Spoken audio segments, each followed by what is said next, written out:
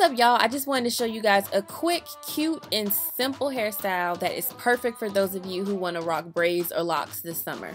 So as you can see i have yarn locks right now and what i want to do is create a fishtail in the front of my hair. So i'm going to grab a portion of my hair and divide it into two parts. Then i'm going to take each braid from the edge and braid it inwards.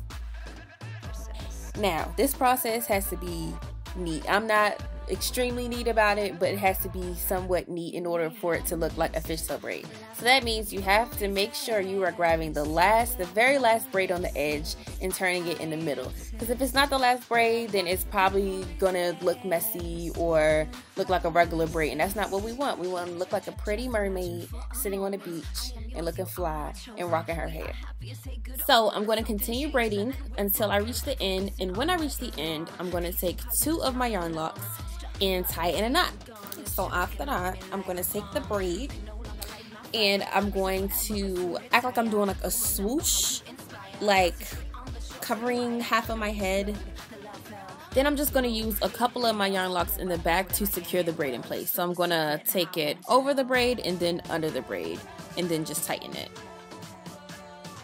And there you have it, your cute fishtail braid style that is super, super dope for the summer. Thanks for watching, guys, and do not forget to subscribe. And always remember, I do not have a catchphrase. Wow. See y'all next week. Peace.